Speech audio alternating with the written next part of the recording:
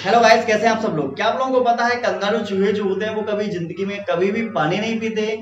आपको बता दें, हम लोग तो अगर पानी ना पी तो हमारी तो हालत खराब हो जाती है, लेकिन उन चूहों की विशेषता है कि ये अपनी पानी की कमी को पूरा करने के लिए वहाँ पर मिलने वाले जो बीज हैं, उत्तरी अमेरिका में रहता है। उत्तरी अमेरिका में वहाँ पर बीज वगैरह कैक्टस वगैरह की जड़ें जो होती हैं, उन्हें खाकर ये रहता है और उन्हीं से ये पानी कमी को पूर्ति करता है। और इसकी किडनी की भी ये विशेषता होती है कि किडनी कम पानी की उपलब्धता में भी अपने अपशिष्ट पदार्थों को सही से बाहर निकालने में सक्षम होती है। ये काफ़ी ज़्यादा फुर्तीले होते हैं, ये छलांग बहुत अच्छी लगाते हैं, आगे के पैर छोटे होते हैं, पीछे के काफ़ी बड़े होते हैं।